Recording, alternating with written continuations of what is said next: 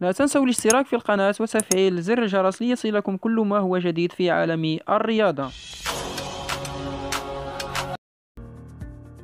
علقت الصحافة المصرية عن الزيارة التي قام بها فوزي الأقشع لفريق الوداد وذلك قبل النهائي على أرضية مركب محمد الخامس ضد فريق الأهلي.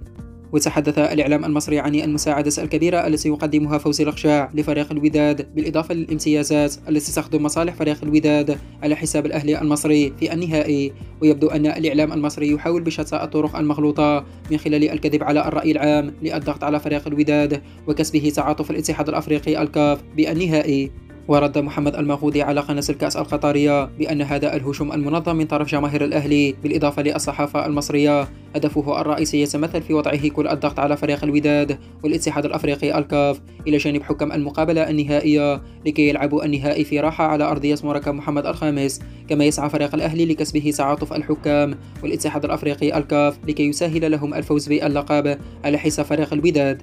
وأضاف محمد المغودي بأن فريق الأهلي المصري يعلم جيدا بأن النهائي ليس بالسهل أمام الجماهير الودادية كما رد على الصحفي المصري خالد بيومي الذي قال بأن جماهير الرجاء من المتوقع أن تساند فريق الأهلي من خلال خمسة ألاف مشجع حيث أوضح محمد المغودي بأن جماهير الرجاء من المؤكد أنها تقف مع فريق الوداد الذي يمثل الكرة المغربية في المقام الأول.